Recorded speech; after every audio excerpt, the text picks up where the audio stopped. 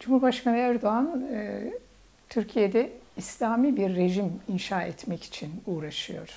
E, bunu bütün davranışlarından 20 yıldır gözlemliyoruz söylemleriyle, e, icraatlarıyla. Bu çok açık bir şekilde ortada. E, burada da Alevileri e, bir engel, bir ayak bağı olarak e, gördüğünü düşünüyorum. Neden ayak bağı? Çünkü Alevi inancı e, İslam'la örtüşmeyen, çok ciddi bir e, farklılıkları olan bir inançtır. E, Alevilik, özgür eş yaşamın e, nüvelerini, e, demokrasinin, radikal demokrasinin, gerçek bir demokrasinin kök hücrelerini geçmişten günümüze taşıyan bir inançtır.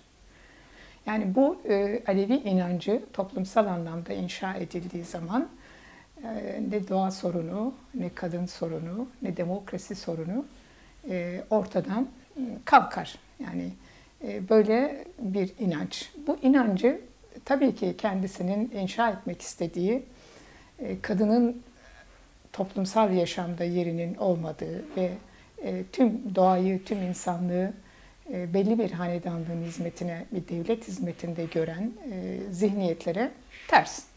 Bunu yok etmek için ve bunu özünden uzaklaştırmak, asimile etmek için çok ciddi çabalar sarf ediyor ve bunun temelleri geçmişte cami cemevi projeleriyle temelleri atıldı e, cami cemevi projeleriyle e, Aleviliği e, Sünniliğe dönüştürmek ve kendi özünden uzak, uzaklaştırmak istediler. Ve bundan da gerçekten e, kabul etmek gerekir ki çok ciddi anlamda başarı elde etmişler. Bu Şahkulu ziyaretinden bir hayli önceydi. Bir açıklaması vardı. İşte biz Allahsız, Muhammedsiz, Ali'siz, e, ve sapkın bir Aleviliğe izin veremeyiz. Bu cümle e, çok ciddi bir anlamda geçmişten e, Alevilere atfedilen sapkınlık zihniyetini güncellemekti. Yani gözden düşürmek, kirletmek, kirlettikten sonra da yok etmek, dönüştürmek. Böyle bir amacı ve bu kirleterek işini kolaylaştırmak, toplumsal anlamda da kendisine dayanak oluşturmak için yaptığı bir e, harekettir. Bu noktaya gelmeden önce İçişleri Bakanlığı'nın e, 1585 cemevini ziyaret ettik. İşte oralarda ihtiyaçlar tespit ettik, ihtiyaçlar giderildi e, gibi bir açıklamalarına da tanık olduk. Burada da şunu görmek lazım. Neden bir inanç İçişleri Bakanlığı'nın e, dikkatinde olur veya ilgi alanında olur? yine bir güvenlik sorunu olarak bakmakta ve kontrol etmek ihtiyacından kaynaklanıyor. Oralara gidiyorlar. İhtiyaçları nedir? İşte birkaç kapkacak ve betondan ibaret ihtiyaçlar. Bazılarını da direkt e, para ki bunlar da bizim e, bilgi dağarcığımızın içindedir. Direkt e, para vererek e, işte onların ihtiyaçlarını karşılama yoluna gidilmiştir. Oysa Alevilerin talebi e, ve, olması gereken e, hakikaten bu ülkede yaşayan tüm yurttaşlar gibi inançlarını özgürce ifade edebildikleri, yaşayabildikleri e, bir e, rıza anayasasıyla eşit yurttaşlık e, talepleri vardır. Ve bir güvenlik meselesi olarak e, ve bugüne kadar oluşturdukları, kendi özgüçleriyle yarattıkları değerleri de bir kayyumla e, denetleme ihtiyacı. E, kabul edilir. Hiçbir yanı yoktur. Ve bunun da e, tek anlamı budur. Ama bu tarzıyla, bu tavrıyla e, Turizm ve Kültür Bakanlığı bünyesindeki bir başkanlıkla veyahut da birkaç tane dedenin veya birkaç tane kurum başkanının devletten nemalanmasıyla Alevilerin ihtiyaçlarını karşılamış olduğunu hiçbir Alevinin kabul edebileceğini düşünmüyorum. Alevilerden oy gitmeyecek ama e, bunu topluma, Alevi toplumuna e, sindirmek, içselleştirmek için bir gayret zaten söz konusuydu. E, ama orada şu çıktı ortaya. Evet, geçmişle yüzleşmeden ve Alevi kamuoyunun, Alevi inancının ihtiyaçlarını karşılamadan e, ve Alevi örgütlerini de muhatap almadan yapacağınız hiçbir e, çaba, e, iş bizim nezdimizde kabul görmeyecektir, reddedilecektir bağlamında da bir görüş, bir tepki ortaya çıktı. Kıymetliydi ama devlet buna rağmen kendi çeperinde oluşturduğu bir grup yani kendini Alevi olarak tanımlayan e, bir grup insanla, e, devşirilmiş insanlarla demekten hiçbir sakınca görmüyorum. E, bu işi kotarmaya çalıştı. Fakat Alevi kamuoyu ve Alevi örgütlülüğü tarafından asla bir karşılığı yoktur. Olmamalıdır da hiçbir Alevi'nin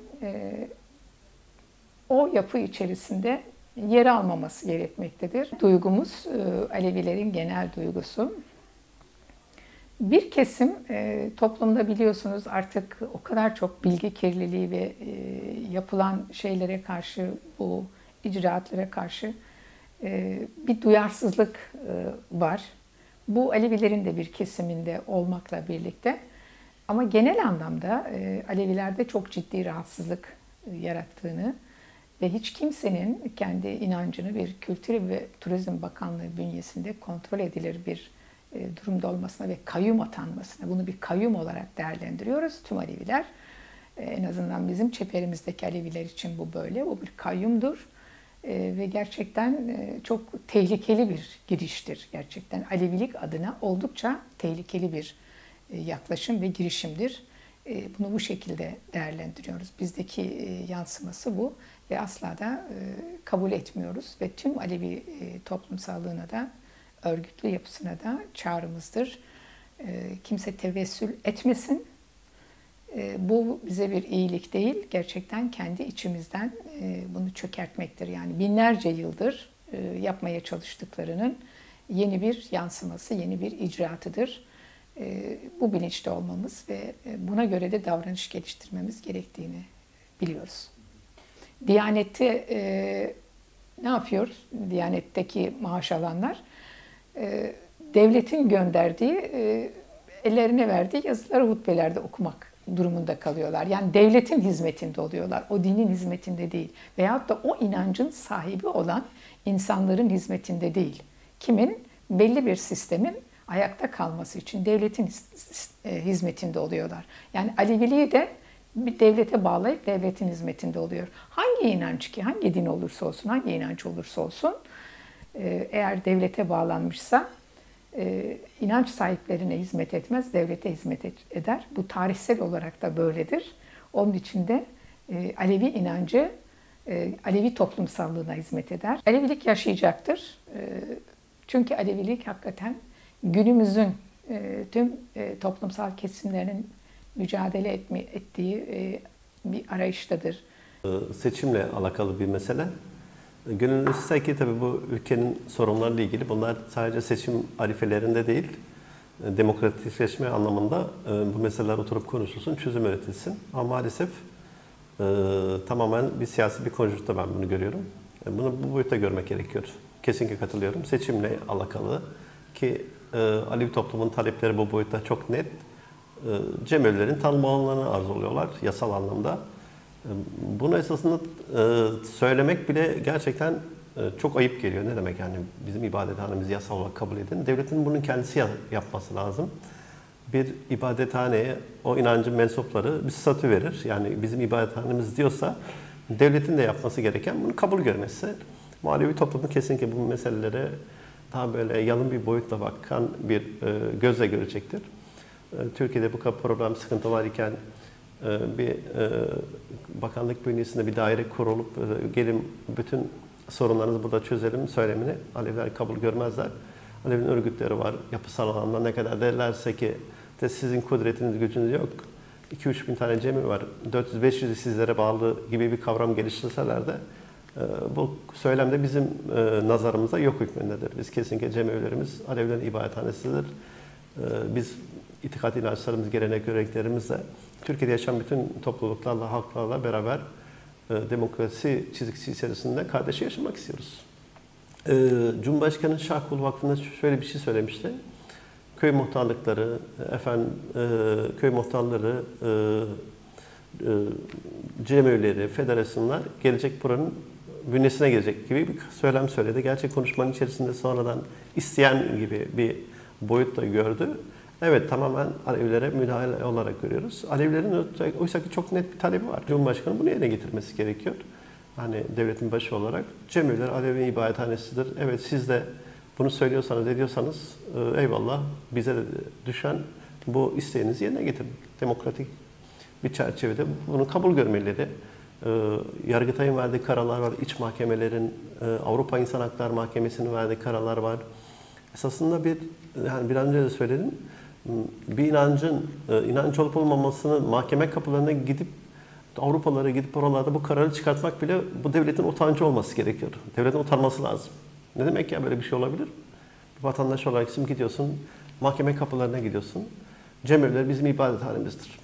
Bu devletin ne kadar faşistanda yönetildiğinde bir e, resmi bir göstergesi görmek gerekiyor. Aynı şekilde zorunlu dersleri meselesi var. Ha ne kadar ders, dersek ki zorunlu değil, zorunlu. Yaşıyoruz, bir ülkede yaşıyoruz. Çocuklarımız gidiyorlar, sıkıntı yaşıyorlar. Derslere katılmadıklarında ciddi çerçevede bir problem yarattırıyorlar çocuklarımıza. 12, 13, 14 yaşındaki çocuklar, 10 yaşındaki 8, 9 çocuk, çocuklarımız, yaşındaki çocuklarımıza düşünün e, mahalle baskısı uygulanıyor. Onların psikolojik e, travmalar yaşatırıyorlar çocuklarımıza. Maalesef e, öyle birileri getirirler. İşte Mehmet Hasan Hüseyin'i getirip oraya oturttular. Dede derler. Toplumuna sererler. Daha önce Avrupa'ya da gri pasaportu dedeler göndermişlerdi. İşte Omre'ye götürdükleri Alevi dedeleri vardı. İnanın ki şu an onlar toplum yüzüne bakamıyorlar. Böyle. Şöyle, bu daire başkanının kurulması cemevlerin hani evet demediği hiçbir şey toplumsal anlamda bir karşılığı olmaz. Herkes birbirine saygı içerisinde inancına, itikadına, ırkına, rengine, kökenine, diline saygı göstermek mükellefine. Sorunlarımızı muhabbetle çözelim. Yoksa gidip gizli kapılar arkasında görüşmeler yaparak, e, birbirlerini bir yere pazarlayarak değil, muhabbetle bütün sorunlarını çözelim.